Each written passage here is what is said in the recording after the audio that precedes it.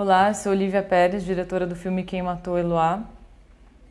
Desde 2008 eu tinha a ideia de fazer um filme que falasse sobre um crime que foi que teve uma repercussão muito grande no nosso país, que foi o sequestro e assassinato da jovem Eloá Pimentel, de 15 anos, pelo seu ex-namorado Lindenberg Alves.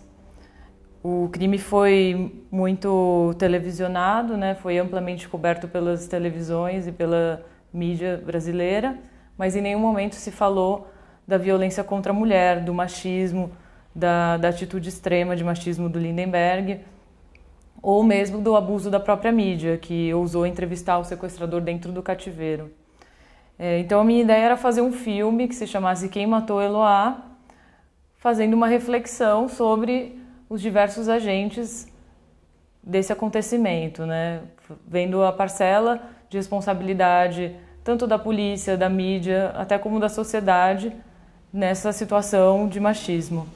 O meu filme dificilmente eu, eu acredito que conseguiria financiamento e, e quando o edital foi lançado, quando eu vi a notícia do Carmen Santos, eu soube que seria uma oportunidade única.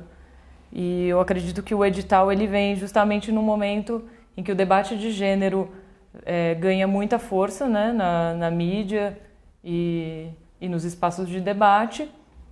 E, e, isso é maravilhoso. Inclusive, as pessoas falam até de uma primavera feminista. O projeto, então, foi selecionado no edital, nós fizemos o filme e eu acredito que, que a obra cumpriu a sua função, porque, primeiro, foi feito com uma equipe quase que exclusivamente de mulheres e, e também ele propõe uma reflexão partindo da opinião de pessoas que são muito expoentes no movimento feminista, como Elisa Gargiulo e a Nalba Teixeira, por exemplo. Além disso, o filme foi selecionado para diversos festivais, festivais internacionais importantes, como o Festival de Amsterdã, e já ganhou alguns prêmios, como na Semana Paulistana do Curta-Metragem e no Festival Internacional de Documentários do Uruguai.